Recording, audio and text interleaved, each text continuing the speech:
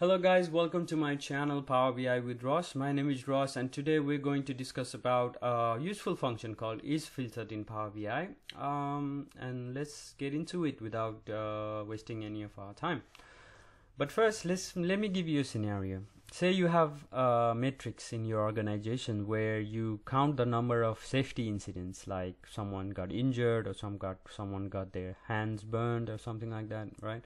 So you you want to count those uh, number of incidents happening in a month or a year or something like that, and uh, you have that. And what you want, so your users requesting you is for each department level or area level so different level of organization i want different targets set up. So say for the whole organization there shouldn't be more than 100 incidents. That's our target. When we are uh, in a department level in a department there shouldn't be more than uh, 75 incidents. And if we go to the area level say there shouldn't be more than 50 incidents in a year or some or a month or something like that so that makes the target dynamic right? So what we want is when i when we select the first level of hierarchy it should show 100 when i set the second level of hierarchy it should show 75 and we, when we select the last deepest level it should show 50 and if you have more we want to add and more and more and more and so on right? So this is the scenario. So how do we do that? Uh, we can do that with the is filtered function. So let's dig into that. So what isFiltered function does is it returns true or false value based on if the column the in a table is filtered or not. So what if I do let me let me just quickly change this one let me demonstrate with the uh, let's say is filtered. What I want is so this is the area table. This is where I'm getting the data. So what I want in the area table and this is the site this is department and the other one that's area right? So what I want to do is check if uh, the site column is filtered or not. If I go there, do this and let me take a card visual and go target. True because the site column is filtered. But when I select the department column, it still says true, and we're like, oh, okay. But, but I selected department. Why, why, why is the site level filtered? Because, as you guessed, the site falls under the organization. Sorry, the department falls under the site or the organization. So yeah, it is filtered. So even if you select area, it still says true. So but we want to change that right? What, what, what, we want is we want when we select loading we want that to be false. We want individual true and false instead of the hierarchical true and false. So how do we achieve that? So we can achieve that by creating something called depth.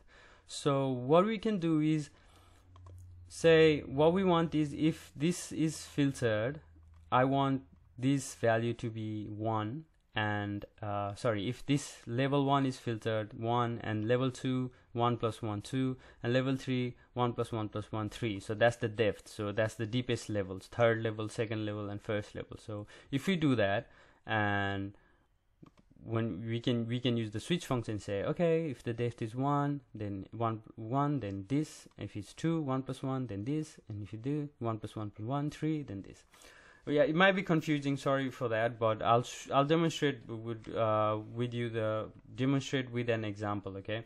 So what I mean is, if I select, let me just quickly change this one. So what I want to do is is filter area side, and I want to add if filtered uh, isFiltered the department level as well. Okay. So what I mean is that when we do this, this is going to return a different value now. Say 1 so what I mean is so when I select the whole site level it says returns 1 so when I go to the department now it's it gives us 2 but when I go to area it still says 2 because we haven't set it up for area right? So what I wanted is I also want to add it's filtered and I want to area as well. Okay. And now it's going to change to 3 there you go, three, right? So we've set the levels now. Depth, I, I call it depth because that's the depth of the hierarchy. So that's depth one, that's depth two, and that's depth three. And we've set it now. Now we can set the target based on this value right so what we can do now is if the depth is 1 set 100 if the depth is 2 set 75 and if the depth is 3 the third level then set 50 now this fulfills our management requirement. The management said we want this target for our site this target for our department and this target for our area. Now we've solved that. We can do that now by using a switch function. So let me delete that. I've already created this one the ma measure the copy of that which is hierarchy depth is this and this and that which we already discussed. And I've already created a new uh, measure that's uh, gets the target right? So if the hierarchy level is 100 if 275 is 3 and 50 and that's what I've used in this chart over here. So if I just put it on top of that and say okay now I go site it says 100 please notice the uh, purple bar over here if I go department, says 75. Whoa. And if I go area, it's got 50. There you go. Problem solved. The manager is happy. You are happy. Problem solved. But yeah, this is this is the end of the tutorial. But but I also want to mention, just imagine in how many ways we can use this is filtered function. Like what we want. What if there is a measure, and what we want is when we calculate this one uh, so if you let's say each employee uh, gets a different bonus right? So like say from department level they get a different bonus and the area level they get like 5% the department so manager so manager let's say manager the ceo gets the highest say 20% uh, bonus in a year. Say in a department, every department manager gets uh, like a 10%, and every uh, area level managers gets 5% bonus, right? So what we can do is like if the same thing, hierarchy depth. So if it is one, then increase the salary into 5% of the salary. Oh, sorry, 20%. If I go department, increase the salary by 20%. So we can create a single measure that gives us a dynamic value based on what we have selected in the slicer.